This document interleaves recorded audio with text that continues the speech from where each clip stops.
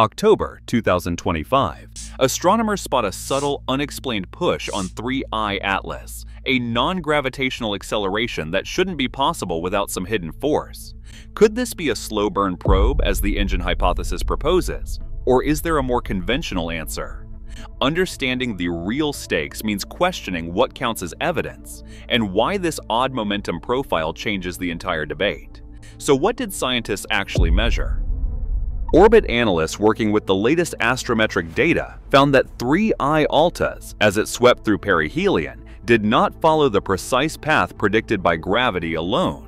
The object's measured positions, tracked against background stars with sub-arcsecond accuracy, showed a consistent statistically significant offset. This offset, known as the residual, is the difference between where the object should be and where it actually appeared in the sky. When only gravity was used to model the trajectory, the fit left a noticeable error. Adding a small, persistent non-gravitational acceleration to the model sharply reduced that error, improving the fit to the observed data. The timing of this anomaly centers on the perihelion passage, when 3I Atlas was closest to the Sun. The improvement in orbital fit is not subtle, by including this extra force, the model's predictive accuracy increased beyond the threshold of random noise or catalog error. The residual wasn't a one-off blip. It persisted across multiple nights and independent observatories, each using their own reduction pipelines and star catalogs. The best fit acceleration was about 4.9 micrometers per second squared at a heliocentric distance of 1.36 astronomical units, with both radial and transverse components. This means the push wasn't just away from the Sun, but also had a sideways element relative to the object's orbit. No visible outgassing or comet-like activity was detected in deep imaging or spectroscopy. That absence makes the measured residual more than a curiosity. It demands a physical explanation. The result is a quantitative puzzle, a clear, repeatable improvement in trajectory fitting, with the residual dropping only when a non-gravitational force is included. The next step is to ask what could possibly cause this push, and whether it fits any known natural mechanism or points to something less familiar. Every theory for 3i Atlas's odd path faces a basic rule. Momentum must be conserved.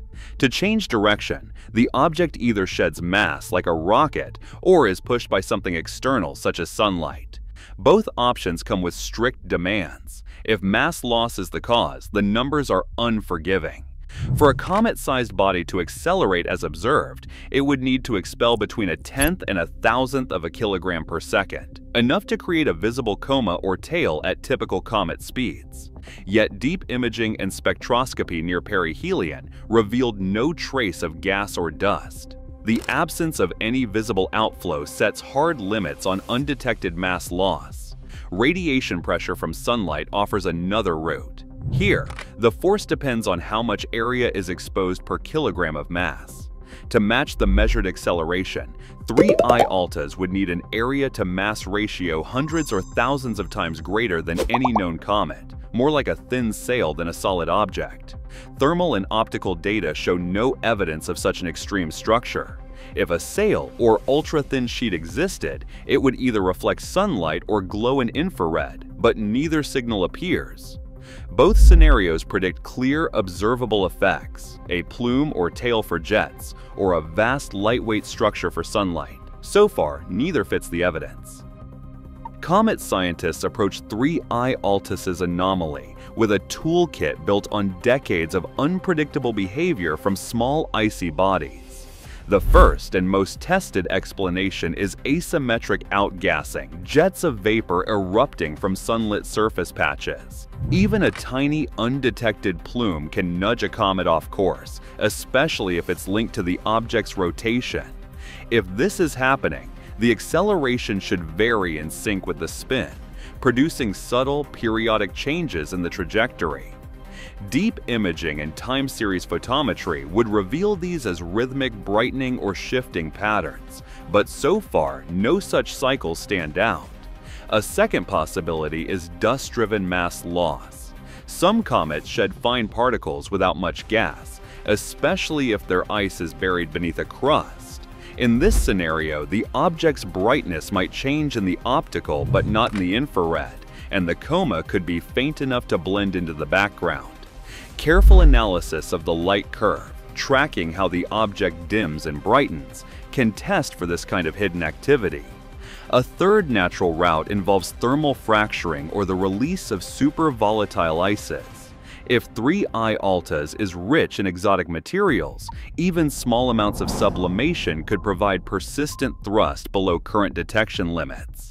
Each of these models predicts a unique signature, rotation-linked thrust for jets, brightness only changes for dust, or a large surface area signal for radiation pressure. The challenge is that none has left a clear fingerprint in the data so far, keeping the field wide open for rigorous testing. Engineered propulsion, if it were present in 3I Atlas, would leave behind a set of unmistakable clues. The most direct sign would be a narrow collimated exhaust plume precisely aligned with the direction of the measured acceleration, something far more focused than the diffuse outflows seen from natural comets. Spectral analysis would need to reveal chemical or isotopic signatures that do not match any known cometary material, such as unexpected molecular lines or ratios pointing to non-natural origins. In addition, a true engine would likely produce thermal infrared excess inconsistent with solar heating, or show abrupt changes in acceleration, on-off cycles or shifts tied to the object's orientation, none of which have been observed so far. For any claim of artificial thrust to stand, scientists require independent confirmation of the orbital anomaly from multiple observatories, each using separate reduction pipelines and star catalogs. The orbit solution must remain reproducible, with the non-gravitational acceleration persisting across new datasets and time windows. Peer-reviewed publication is mandatory, with open error analysis and clear documentation of all methods. Only direct evidence, engineered exhaust, anomalous spectra, or reproducible orientation-linked thrust can justify a propulsion hypothesis.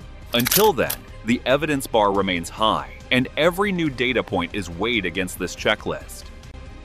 In October 2025, orbital data revealed a statistically significant non-gravitational acceleration for 3I Atlas near perihelion, improving trajectory fit beyond gravitational models alone. This single measurement forced researchers to weigh physical explanations, from volatile mass loss to the extreme area-to-mass ratios needed for radiation pressure. Each natural scenario predicts distinct observable markers, yet to date, no direct evidence such as aligned exhaust or exotic spectra has been documented. As of now, no classified files have been released, and key internal communications from the initial analysis remain unpublished. The international scientific community maintains that only reproducible independent measurements and clear diagnostic signatures can support extraordinary claims. While the slow burn probe hypothesis highlights our limits, the facts remain. The anomaly is real, its cause is undetermined, and future data will decide between natural and artificial explanations.